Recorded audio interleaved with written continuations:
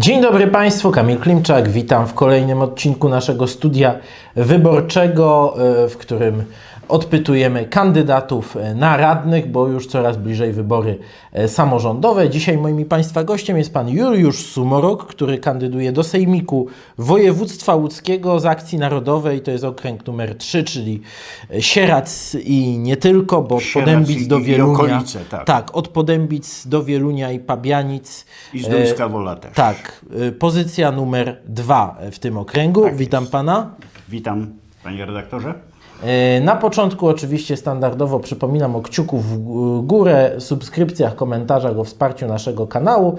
Zanim y, warstwa merytoryczna, to mm, poproszę o parę słów o sobie.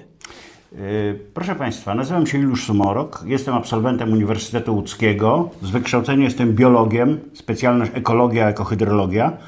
Oprócz tego studiowałem filozofię i studiowałem MBA, czyli Master Business of Administration, czyli liznąłem trochę, trochę takich ogólnych rzeczy i ekonomii. E, Jak widać e, po mojej facjacie, wiek mam już, e, że tak powiem, zaawansowany. Pamiętam czasy, jak mamuty biegały po ziemi, ale tak na poważnie pamiętam czasy komuny i dlatego to, co wtedy przeżyłem, e, patrzę na to, co się dzieje obecnie i mogę pewne rzeczy oceniać z perspektywy czasu. Wiedzę mam dużą. Zajmowałem, e, byłem, byłem politykiem szczebla krajowego. Na początku lat 2000 zajmowałem się dużymi inwestycjami, między innymi projektowałem oczyszczalnię na biomasę na 5 MW. Także no, różne rzeczy robiłem w życiu, mam dużą wiedzę i wydaje mi się, że ta wiedza byłaby przydatna dla naszego województwa.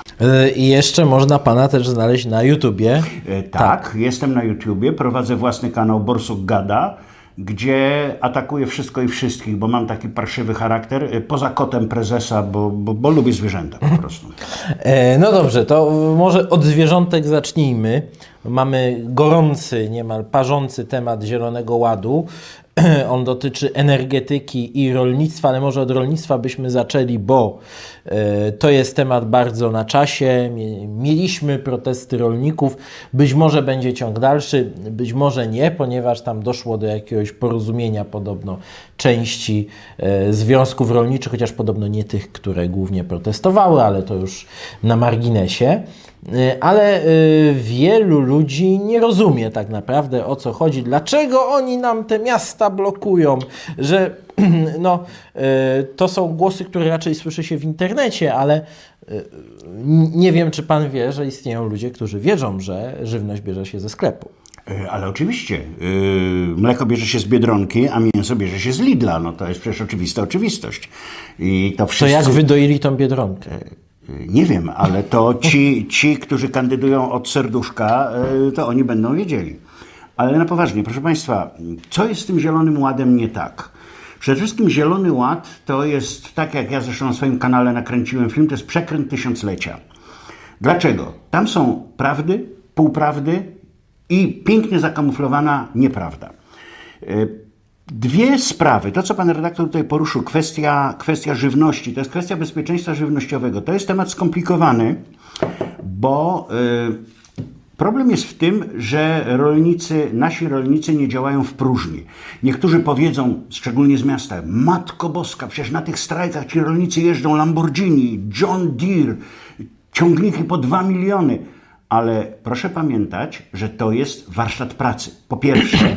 E, Po drugie, większość z Was też ma kredyty, domy na kredyt. E, Po trzecie, nasze miłomściwie nam panujące państwo doprowadziło do tego, że nie ma praktycznie rzecz biorąc e, sprzętu dla rolnika indywidualnego, dla rolnika niedużego, bo mały rolnik jest niepotrzebny korporacjom. Te wielkie ciągniki, te wielkie maszyny rolnicze, one są obliczone na ogromne latyfundia, takie latyfundia, jakie mamy teraz za wschodnią granicą. Proszę Państwa, tam nie ma rolników indywidualnych. Tam są po prostu latyfundia, tam są miliony hektarów, które należą notabene zresztą do ludzi, yy, do arystokracji pieniądza, jak ja to ładnie nazywam, żeby się nie narazić tutaj na zarzut ksenofobii. Yy, I ci ludzie produkują, tak jak korporacje muszą to robić, produkują najtaniej. Co to znaczy najtaniej? Bez żadnej kontroli co tam jest stosowane bez żadnej kontroli chemikaliów, pestycydów, środków, środków utrwalających. W rezultacie, ponieważ dopuszczono do tego, że ta żywność zalewa nasz kraj, mamy sytuację taką, jak niedawno rozmawiałem z moim sołtysem, bo ja y, na stare lata, znaczy oczywiście nie uważam się jeszcze za starego, jak gdzieś jak skończę setkę, y, mam tam kawałek ziemi i będę chciał przenieść się i spokojnie coś tam sobie, jakąś marchewkę uprawiać i Rozmawiam z tym, y, z tym y, sołtysem, on mówi, słuchaj, ja w zeszłym roku posiałem kukurydzę. Kalkulowałem to w zeszłym roku na wiosnę. Tą kukurydzę zebrałem i w tej chwili ja tej kukurydzy nie sprzedam y, za takie pieniądze, żeby uzyskać z powrotem to, co ja włożyłem. A czym zapłacę ratę kredytu? Czym, czym już nie mówiąc o tym, że, że trzeba przecież żyć z czegoś. On pracuje, oprócz tego, że jest rolnikiem, ma 11 hektar, on pracuje, jego żona pracuje, jego syn pracuje po to, żeby utrzymać gospodarstwo. To jest chore, proszę Państwa. Dzięki temu mamy w sieciach żywność, w sieciach e, handlowych żywność, która jest trucizną.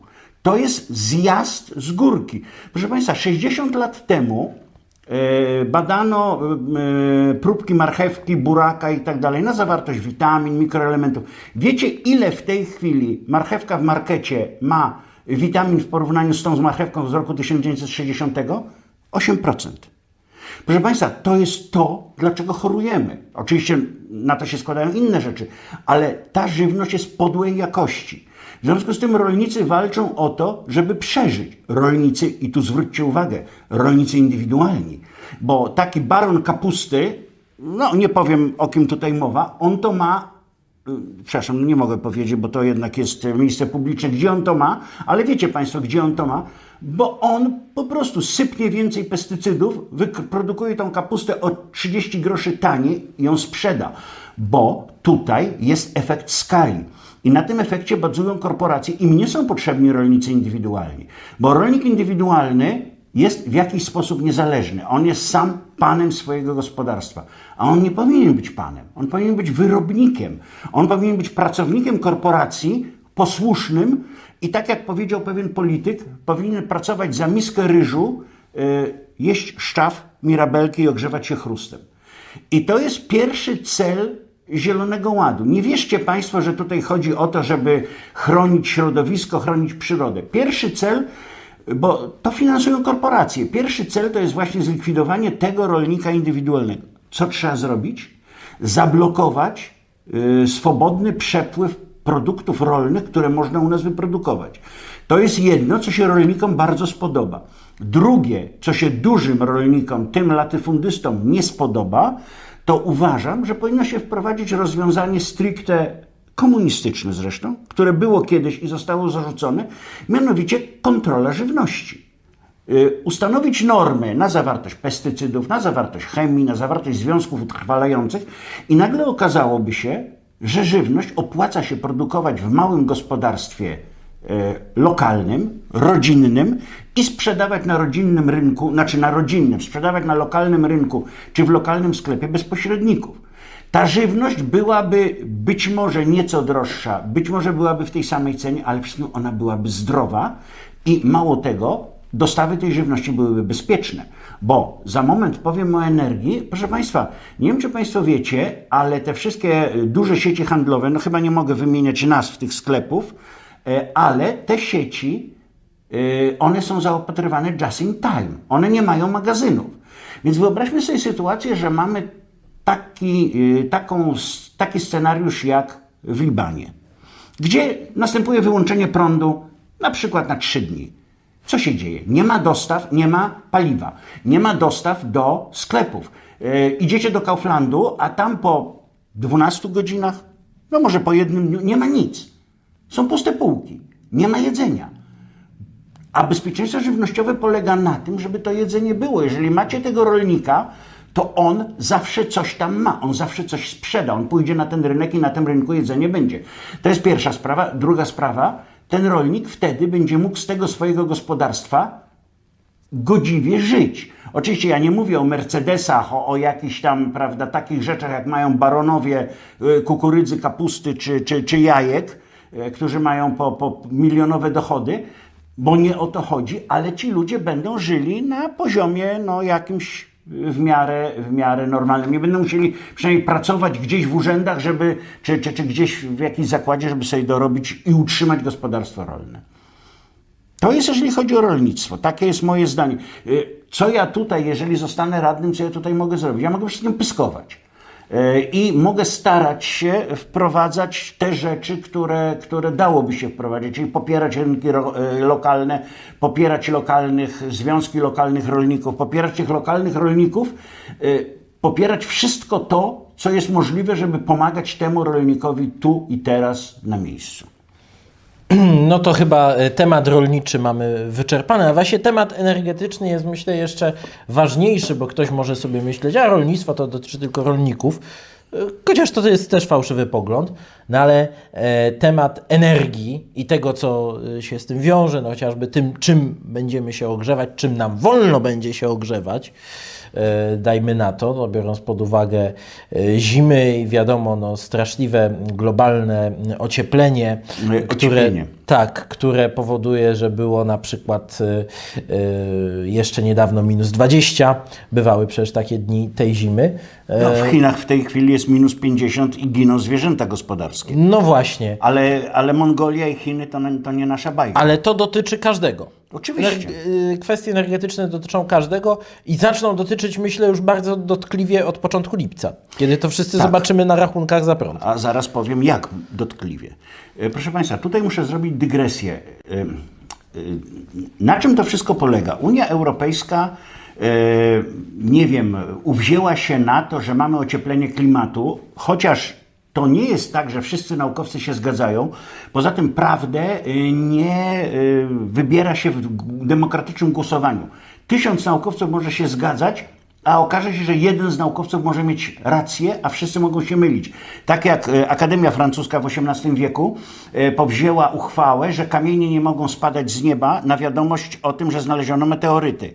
Albo był słynny fizyk w końcu XIX wieku, który bardzo współczuł fizykom, że fizyka się już skończyła, no bo wszystko wiadomo, mechanika jest opanowana. A trzy lata później nagle znalazł się taki, który wymyślił mechanikę kwantową i się wszystko znaczy posypało. Y, Proszę Państwa, podstawą, y, czyli walczymy z tym nieszczęsnym dwutlenkiem węgla, który wcale nie jest trucizną, który jest gazem potrzebnym dla roślin.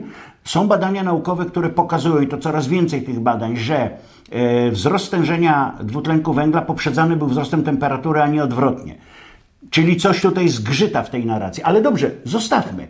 Nawet jeżeli oka- okaże się, że dwutlenek węgla wzrasta z powodu działania nas, ludzi, czyli spalania tych, tych paliw kopalnych, to i tak, i tak te działania, które są powzięte, są kompletnie nieskuteczne.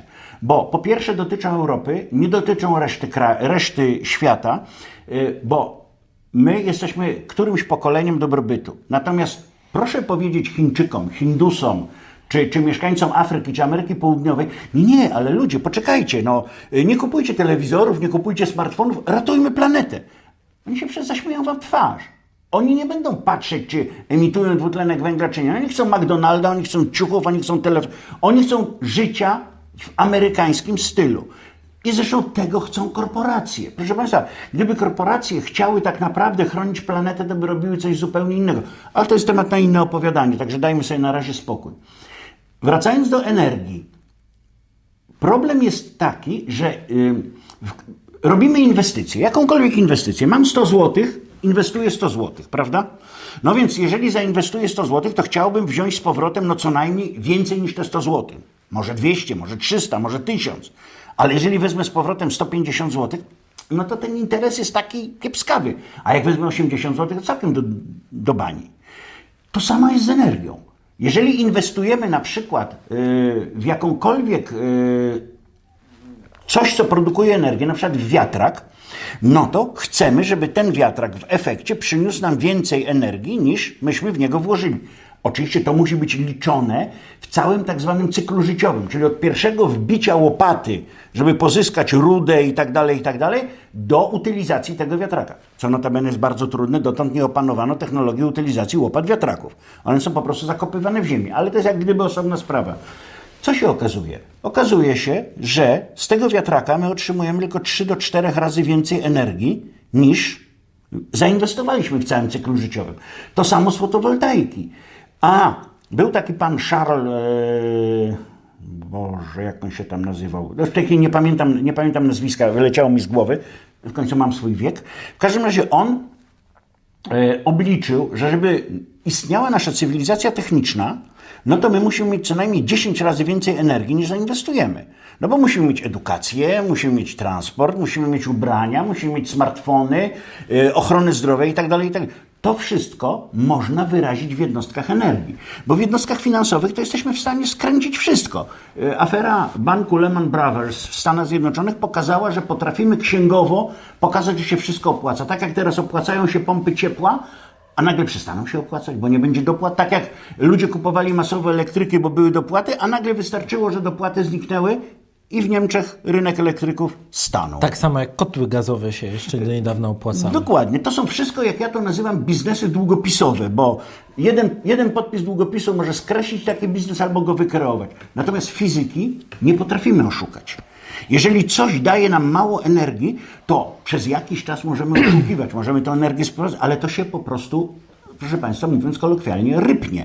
Natomiast nasza cywilizacja, proszę pamiętać, powstała w momencie, kiedy odkryliśmy paliwa kopalne. Odkryliśmy węgiel, ropę naftową i gaz. Te trzy paliwa dają nam y, możliwość funkcjonowania. Ropa naftowa w, w dawniejszych czasach, kiedy były łatwo dostępne złoża, ten wskaźnik miała 100. Czyli na jedną jednostkę zainwestowaną energię otrzymywaliśmy 100 jednostek energii, którą można było gdzieś sobie używać do, do wszystkiego, do zbudowania chociażby Arabii Saudyjskiej. Y, teraz ten wskaźnik jest gorszy, ale nadal on wynosi około 30. To samo węgiel brunatny. Proszę Państwa, węgiel brunatny, ten taki odsądzany od czci i wiary, mm, Chiny budują w tej chwili kilkadziesiąt elektrowni na węgiel brunatny wielkości Bełchatowa rocznie. Rocznie. Y, Niemcy którzy tak bardzo twierdzą, że są ekologiczni i odchodzą od węgla, jest to piękny PR. Oni odchodzą od węgla kamiennego, bo węgiel kamienny jest drogi, trudny w wydobyciu. Natomiast proszę sobie wejść w plany RWE, niemieckiego koncernu energetycznego, tam planowana jest planowane jest wybudowanie czterech nowych y, elektrowni na węgiel brunatny. Między innymi reaktywacja elektrowni w okolicach Turowa. No, Turów zostanie zamknięty, bo Polacy nieekologicznie wydobywają, po czym Niemcy pewnie będą wydobywać ekologicznie ten sam węgiel. Yy, a propos jeszcze budowy elektrowni yy, w Niemczech, było, był sobie taki las Hornbach, który był starszy od Puszczy Białowieskiej. 8 tysięcy hektarów tego lasu wycięto. Yy, zieloni próbowali coś tam zakwilić, ale przyjechała policja, nie patyczkowała się, wsadziła w budy, wywiozła zielonych czy ktokolwiek z Państwa słyszał u nas o tym? Pełna blokada informacyjna. Czyli inaczej mówiąc, musimy mieć źródła energii, które dadzą nam więcej energii, dużo więcej niż zainwestowaliśmy. Tymi źródłami są paliwa kopalne, tymi źródłami może być geotermia. Oczywiście to trzeba wszystko policzyć, bo ja uważam, że w każdej lokalizacji może być inaczej. Tym źródłem może być energetyka jądrowa. Ale proszę Państwa, jest jeden mały haczyk. Nasze miłomściwie nam panujące państwo w czynie, e, mm, jakby to nazwać, e, komunistyczno-zielonym, e, chce być bardziej papieskie od papieża i my już zaczynamy wyłączać elektrownie węglowe. W tej chwili doprowadzi to do tego, że za moment, po pierwsze to, co pan redaktor powiedział, energia za moment strasznie zdrożeje, a yy, tej energii zabraknie. Bo w czym jest problem? Energia z wiatraków czy energia z fotowoltaiki jest energią pasożytniczą. Co to znaczy? E, na przykład dzisiaj jest słońce i wieje wiatr. Czyli zaraz będziemy mieli w internecie pianie i zachwyty, ile to wyprodukowaliśmy tej energii, jaką ogromną ilość z odnawialnych źródeł energii, jak myśmy uratowali planetę. No dobrze. Słońce zajdzie, wiatr przestanie wiać, Natomiast system energetyczny musi dalej działać. Będzie wieczór, Państwo potrzebujecie więcej prądu. Musi być stabilne źródło, które tą brakującą energię momentalnie uzupełni. Tymi źródłami w Polsce są elektrownie węglowe i elektrownie gazowe. Czyli te elektrownie muszą jak gdyby stać pod parą, żeby uzupełnić tą y, brakującą nagle energię odnawialną. Czy jaka to jest odnawialna? To jest żadna energia odnawialna, to jest po prostu. To jest fantastyczny biznes dla kogoś, kto to wymyślił. Natomiast dla nas to jest Zupełnie niepotrzebne. Proszę Państwa, koszt wyprodukowania w elektrowni Bełchatowie jednej kilowatogodziny to jest 9 groszy. Czyli gdyby nie te wszystkie y, CMS-y, jakieś tam sresy i, i inne y, opłaty za dwutlenek węgla, to byłaby najtańsza energia. My byśmy mogli sprzedawać tą energię na zewnątrz, a nie kupować z zewnątrz, tak jak to zrobiliśmy już dwa razy w marcu, bo nam energii brakowało. Oczywiście przecież o to chodzi, żebyśmy my kupowali, a nie sprzedawali. No, na tym polega biznes y, obecnego rządu. Czyli, proszę Państwa, problem jest największy taki, że za moment dotknie nas luka energetyczna, bo zaczniemy wygaszać zgodnie z Zielonym Ładem, jeżeli on przejdzie, energetykę węglową, a nie będziemy mieli czym uzupełnić tej energii. Oczywiście ktoś powie, no zaraz, ale przecież budujemy elektrownie atomowe. Gdzie one są? Budujemy je na papierze. Najprędzej te elektrownie będą w 30 którymś roku. Jak wyliczyli specjaliści około roku 30, zabraknie nam 60% energii, jeżeli będziemy wyłączać bloki tradycyjne. Co to znaczy? To znaczy, że po prostu będzie tak, że ta energia w sieci będzie kilka godzin. A poza tym ona będzie cholernie droga. Będzie wykluczenie energetyczne. To, co pan powiedział. Rząd, rząd, miłomściwie nam panujący obecnie rząd, powiedział, że po 1 lipca 11% gospodarstw domowych będzie wykluczonych energetycznie. Czyli nie będzie ich stać na opłacenie rachunków za energię. Proszę Państwa, to powiedział rząd. Specjaliści wyliczyli, że to może być 25%. W Danii, która jest bardzo bogata, 25% e, gospodarstw domowych jest wykluczonych energetycznie. To funduje nam Zielony Ład i fundują nam ludzie, którzy są ideologicznie zaślepieni. To jest, ja jestem ekologiem. Mnie naprawdę leży na sercu dobro środowiska, ale to, co robią ci ludzie, to jest absolutne zaprzeczenie. Oni robią jakieś niesamowite rzeczy po to, żeby, żeby ratować planetę, ratować klimat, natomiast nie ratują i nie dbają o środowisko tu i teraz, tu za progiem, tu w naszym województwie. Proszę Państwa, jaki mamy stan rzek? Jaki mamy stan ścieków? Jaki mamy stan, stan tego środowiska? Jak mamy wycięte lasy? To jest dbałość o środowisko? To jest żadna dbałość o środowisko. Wracając do energetyki, jeżeli zabraknie energii, to tak jak pan redaktor powiedział, sypnie się wszystko. Bo po pierwsze ucieknie przemysł z Polski, no bo ucieknie tam, gdzie ta energia będzie tańsza. E, po drugie będzie droga żywność. Po trzecie będzie drogie paliwo. No, generalnie, no, będzie szczaw, mirabelki, chrust. Ja tutaj bym dorzucił taką e, dygresję, że ci współcześni, tak zwani zieloni, nie będę ich nazywał ekologami, zapominają, że tak, dbajmy o środowisko, ale my też jesteśmy częścią tego środowiska na miłość boską. Ależ oczywiście, proszę Państwa, zapomnieliśmy o jednej rzeczy. E, reaktywujmy myśl wielkiego Polaka. Był Walerian e, Gettel, który w latach 60. E, stworzył naukę nazywaną sozologią. To była nauka mówiąca o kształtowaniu środowiska, bo to, co mówią, to, co mówią zieloni, zieloni oszołomowie, czy zielone oszołomy, bo to nie są ekolodzy, to jest pewnego rodzaju opozycja, która jest kompletnie nierealna, bo z jednej strony oni mają idealistyczny pogląd na środowisko, że środowisko naturalne, ono się będzie samo rządziło i tak dalej, a z drugiej strony i tam będą zwierzątka sobie żyły, będą sobie żabki, matylki i tak dalej, a z drugiej strony środowisko ludzkie, które jest straszne, nieludzkie, zabija te biedne zwierzątka. Proszę Państwa, to jest trzecia prawda Tischnerowska, czyli prawda. Bo nie ma czegoś takiego jak środowisko naturalne już na Ziemi. Wszystkie miejsca w jakiś sposób są zmienione przez człowieka.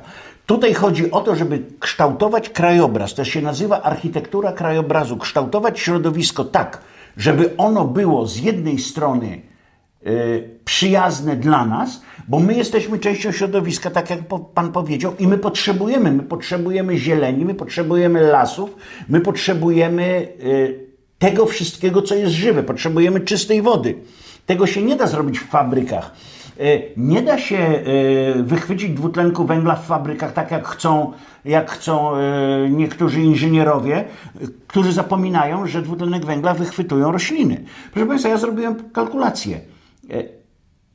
Polskie lasy i polskie uprawy wychwytują dwa razy więcej dwutlenku węgla niż emituje cały polski przemysł. Gdzie są dopłaty? Gdzie nam Unia Europejska płaci za to? To jest właśnie szkopuł, że to tego korporacje nie mogą ugryźć, dlatego korporacje tego nie widzą. Korporacje chcą zatłaczać dwutlenek węgla pod ziemię, bo się na tym zarobi. Bo się zbuduje instalację, bo się sprzeda instalację, bo się będzie ją serwisowało. To jest biznes, to jest geszeft. O tym myślą właśnie arystokracja, o tym cały czas myśli arystokracja pieniądza, która rządzi światem. Yy, no co więcej na ten temat? Yy, dlatego jestem przeciwnikiem Zielonego Ładu w tej jego formie, bo to jest po prostu prosta droga do katastrofy gospodarczej. Do tego, żebyśmy nie mieli co jeść, nie mieli się czym ogrzewać, yy, nie wiem, no, byli bandą wyrobników na łasce e, korporacji, która nam będzie sprzedawać jedzenie złożone ze świerszczy, wodę butelkowaną w plastikach nie wiadomo jaką, a być może niedługo opodatkuje powietrze, no bo przecież my też wydychamy dwutlenek węgla. Może dostaniemy paszporty dwutlenkowe, jak ktoś przekroczy, tak jak w science fiction było, jak ktoś przekroczy limit, no to do utylizacji na biomasę. No. Nie wiem, do czego, do czego komu, zieloni komuniści potrafią doprowadzić. Yy, czerwoni komuniści doprowadzili do głodu na Ukrainie w latach 30. XX wieku. Yy, wszystko przed zielonymi komunistami. To jest dokładnie to samo. Yy, najgorszą zarazą, jaka może być na świecie, jest ideologia. Jakakolwiek ideologia, bo ideologia odmurza, no i prowadzi do tego, że chce się swoje idee wprowadzać na siłę.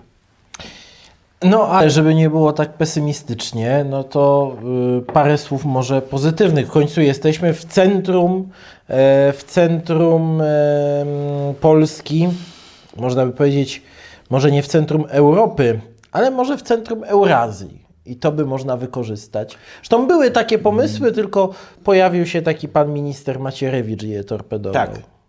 Znaczy, myślę, że to nie tyle on storpedował, tylko ktoś e, od Wielkiego Brata powiedział. Nie, no to my, to my wiemy, że No. inni szatani byli tam czynni, jak mawiał klasyk. Tak, tak, tak. E, Czy, proszę Państwa, e, ja jeżeli będę w Sejmiku, to będę absolutnie naciskał na jedną rzecz. Dlaczego powstała Łódź? Łódź powstała, bo Łódź była końcówką, można powiedzieć, portem jedwabnego szlaku w XIX wieku. Tutaj przychodziły towary, więc te towary można było tu przerabiać. Co stoi na przeszkodzie? Chińczycy chcą to zbudować. Od wielu lat delegacje chińskie przyjeżdżają. Była przecież historia, y, Chińczycy chcieli kupić cały Olechów. Tam zrobić gigantyczny hub przeładunkowy. W tej chwili Chińczycy chcą budować przez Rosję, no tą wstrętną Rosję oczywiście, chcą budować autostradę i linię kolejową za własne pieniądze i oni ją wybudują. Tylko teraz pytanie, czy ta linia skończy się w Mińsku, czy ta linia skończy się w Łodzi. Proszę Państwa, dla nas to byłaby niepowtarzalna szansa. Zróbmy yy, port Łódź, koniec jedwabnego szlaku, ziemia obiecana 2.0. 100 lat, ponad 100 lat minęło od tamtych czasów. Yy, 200, 200 lat. 200 lat temu zaczęła się Łódź. Reaktywujmy to. To, co robi pana, pani Zdanowska w tej chwili, rewitalizacja kamienic, to jest, e, proszę Państwa, bez pomysłu na to, co z tą łodzią zrobić, to jest tak jak w najstarszym, e, że tak powiem, zawodzie świata wymiana łóżek, a nie wymiana personelu. No nie, nie mamy pojęcia, czym te kamienice się zapełnią. Za moment one popadną znowu w ruinę, bo kto będzie płacił? Kto będzie je utrzymywał? Y, Miasto to są ludzie, miasto to jest funkcja, miasto to jest działanie, a nie struktura, nie kamienie. O tym się zapomina. Czyli Łódź właśnie tą stolicą, stolicą y, tym portem, zielony, portem jedwabnego szlaku. I druga sprawa, troszeczkę o tym właśnie mówiliśmy, żeby a propos y, tego kształtowania środowiska, opracujmy sensowną strategię y, dla całego województwa. Gdzie mają być obszary chronione, gdzie mają być lasy, gdzie mają być tereny wypoczynkowe, gdzie mają być miejsca osadnicze, to wszystko jest w tej chwili na żywioł. Proszę Państwa, zabudowywane są doliny rzek, bo ci ludzie, którzy mają pieniądze, dogadują się z lokalną administracją. Wycinane są lasy, no bo potrzebujemy pieniążków, to lasy wycinamy. E, Tam, gdzie są tereny chronione, one są jednocześnie najładniejsze, jest najsilniejszy nacisk na osadnictwo. To jest po prostu, mówiąc, po prostu to jest bajzel, to jest bezchołowie i jeżeli chcemy żyć w sensownym środowisku, to trzeba z tym skończyć. Też bym chciał na ten temat y, mieć cokolwiek do powiedzenia, bo naprawdę na tym się znam. No nie mówiąc już o kwestiach wody, której w Łodzi nie mamy, ale i w całym województwie, ale to jest również nasza wina, bo nie potrafimy tą wodą porządnie gospodarować. A to są, tych tematów jest więcej, które można poruszać. Po prostu to są rzeczy, na których się znam i którymi chciałbym się zajmować. No to na koniec zawsze studia wyborczego jest y, chwila y, na podsumowanie i na zachętę y, dla naszych widzów do głosowania. Proszę Państwa, po pierwsze, jestem przeciwko Zielonemu Ładowi. Po drugie, popieram rolników i uważam, że powinni dalej trzymać, trzymać swoje protesty do całkowitego wywalenia tego Zielonego Ładu, bo rolników chcą przekupić. I po trzecie, musimy wojować o to, żeby Łódź stała się znowu miejscem, gdzie przychodzą towary. Bo co innego w Łodzi można robić? No przepraszam bardzo, ale na bankach, na urzędach e, to nie jest, tak jak dzisiaj rozmawiałem z pewnym urzędnikiem, który się potwornie na mnie obruszył, że z moich podatków jest jego pensja e, finansowana. Proszę Państwa, ale urzędnik niczego nie wytwarza. On nie wytwarza dobra. To nas uczył Roman Dmowski między innymi. Dobro to jest coś, co jest wytwarzane z tej ziemi, co jest wytwarzane tutaj, co jest czymś materialnym, co można sprzedać, spieniężyć. Dobrem nie jest to, że ktoś siedzi w banku i miesza pieniądze. Od, od y, mieszania herbaty herbata nie robi się bardziej słodka. Także zapraszam, proszę Państwa, jeżeli się zgadzacie, głosujcie na mnie. Nawet jeżeli się nie zgadzacie, wchodźcie na, moje, y, na mój kanał na YouTubie, y, polemizujcie ze mną. Bardzo chętnie będę polemizował, rozmawiał. Po to jestem. Dziękuję bardzo. I kończymy ten program. Y, Moim i Państwa gościem był Pan Juliusz Sumorok, kandydat do Sejmiku Województwa Łódzkiego z Akcji Narodowej. Dziękuję bardzo. Dziękuję bardzo Państwu. Dziękuję Państwu za uwagę. Jak zawsze prosimy o kciuki w górę, o subskrypcję, o komentarze. Zachęcamy też do wsparcia kanału. Dane są w opisie filmu. I to tyle na dziś. Dziękuję za uwagę. Do zobaczenia. Do widzenia Państwu jeszcze.